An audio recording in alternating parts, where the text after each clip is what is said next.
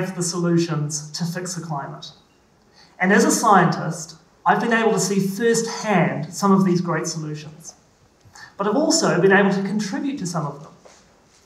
During my PhD at the University of Cambridge, I was able to work on reducing soot pollution, which is a significant contributor to global warming.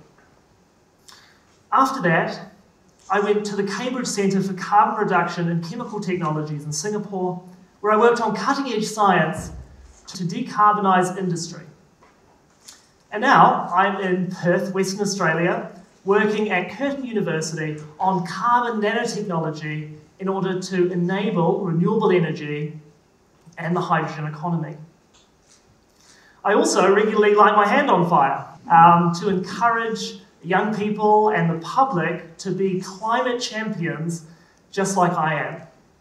But what good are all of these great solutions if there are people that still don't even think that the climate is changing? What good are all these great solutions if there are people that still think humans have no part to play in our changing climate?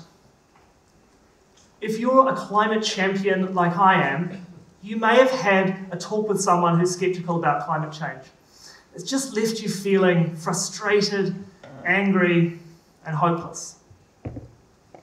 Well, I actually have experience on the other side of that conversation.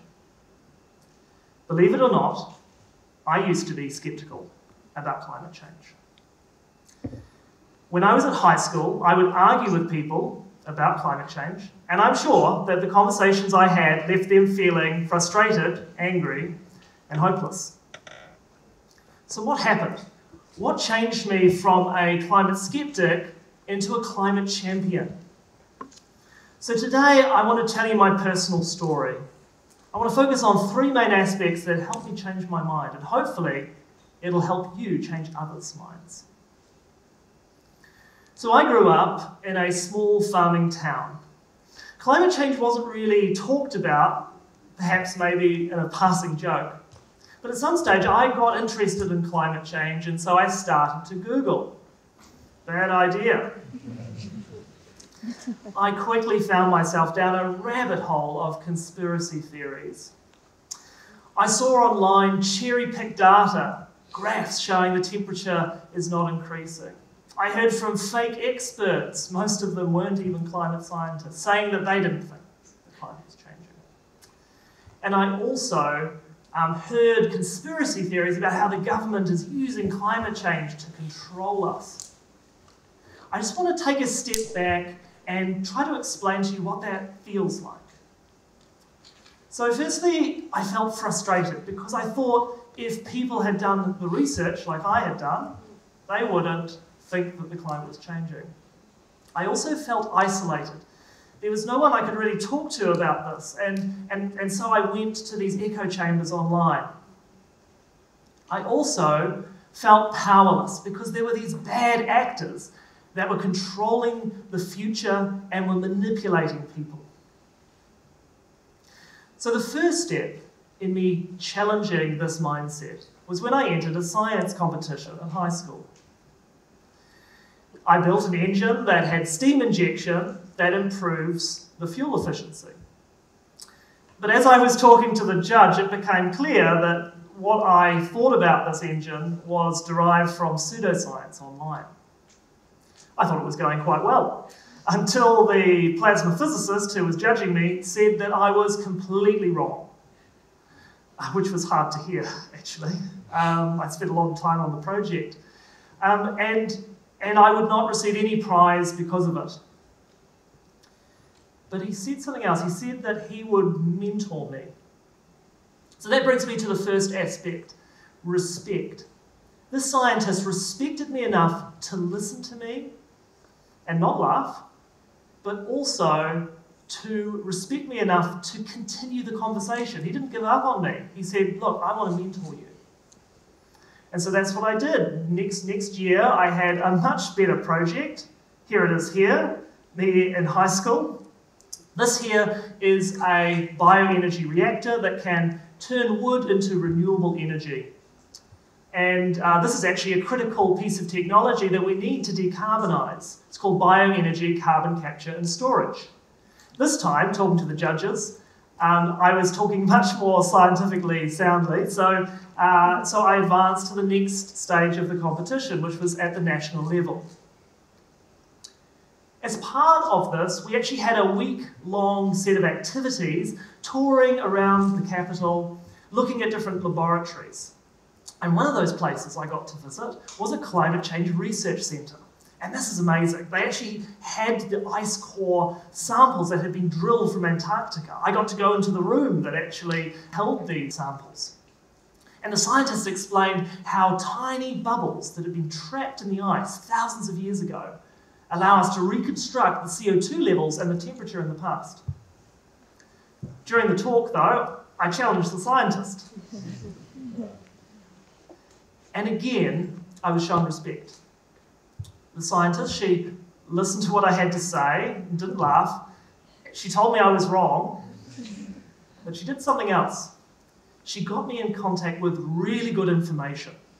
And that's the second aspect that really helped me change my mind good information helped plant the seed of doubt. Now, you may have heard the idea that, that skeptics are impervious to facts. You know, you can just throw facts at a skeptic and they'll just rebound off. You may have heard something more insidious that if you engage with a skeptic and talk to them about facts, then actually they're going to um, get more entrenched in their position, and that conversation will be actually detrimental. Now, I'm happy to say that the most recent psychological studies show that that's not the case, that facts are always helpful at changing people's minds. But the disrespecting people is the fastest way to stop that conversation. That means that you can no longer communicate those facts. So, what the scientist did is she got me in contact, she, she, she directed me towards really good online resources. One of these websites called skepticalscience.com this is um, a website developed by an Australian social scientist whose father was skeptical about climate change. And on this website, climate scientists go through all of the arguments and all the myths associated with um, climate change, and one by one they explain at a basic, intermediate, and advanced level why the most up to date science shows that they're not the case. This really made an impact on me. I no longer talked publicly about climate change. And let me tell you, information is great at shutting people up. but it's not good at, at changing people into climate champions. In order to do that, we need to do something else. And that brings me to the third aspect that helped me change. We need to connect people's values to the climate. For me, this started actually in my faith community. The minister respected me listened to me, and told me I was wrong. And he directed me to a university professor who taught and researched on cancer genetics, human evolution, and the impact of climate change on our health. Talking with this professor, I started to see how the things I care about are connected to the climate. He told me about how, how the poorest in the world are going to be impacted the most while the richest in the world, who've done the polluting, are going to be able to pay to adapt.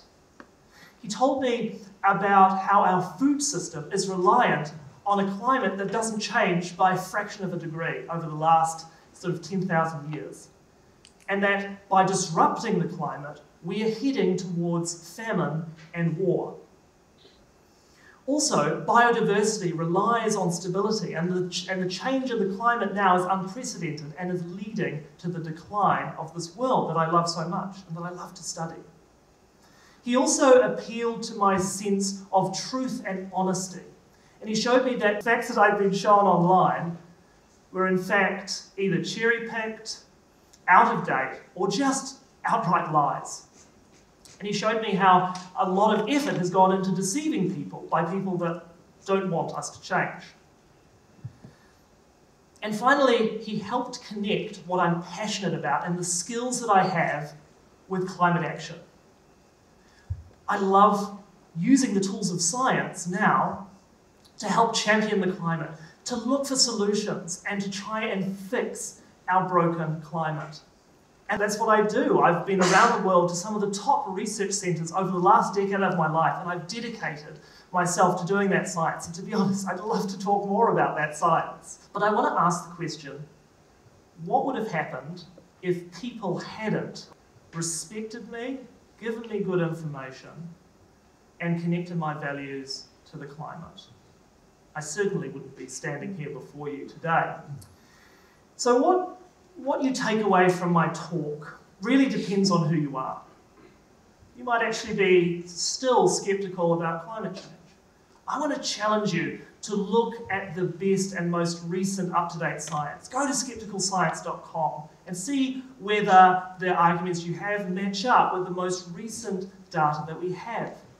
Talk to someone who cares about the climate and see whether the reasons they care about the climate are the same things that you share. And finally, I want to assure you that you won't change who you are by becoming a climate champion. For me, I was able to be much more genuine to who I am by connecting my values to what's actually going on. Also, you might be a climate champion here who used to be skeptical about climate change just like me. I want to challenge you to be much more public about that. We need to normalise this discussion and not shame people when they talk about the questions they have about climate change. By doing that, we will open up many more dialogues with people and we'll also encourage people to see that there are people that are changing their mind. You might be a climate champion here who's just having some really difficult conversations with someone in your life who is skeptical about climate change. And for you, I want to encourage you keep having those conversations. As Dr. Katharine Hayhoe, the climate scientist and science communicator says, the most important thing we can do about the climate is to talk about it. But for people who are actively dismissive, we need to do more. We need to listen more. We need to respect them enough to listen to them, tell them where they're wrong, and guide them towards better information. But we also need to connect what they value with the climate. Not what we value, but what they value with the climate. And if we do that, people can change just as I did. And finally, if you're here and you're a climate champion, and you've just lost hope that we'll be able to fix the climate, I want to encourage you that we do have some incredible solutions. Some of them are scientific, but not all of them are scientific. And your skills, what you love to do, your passions, can be applied to fixing this climate. We need you. And if we do that, as long as people are changing their mind, there is hope that we can change the world. Thank you.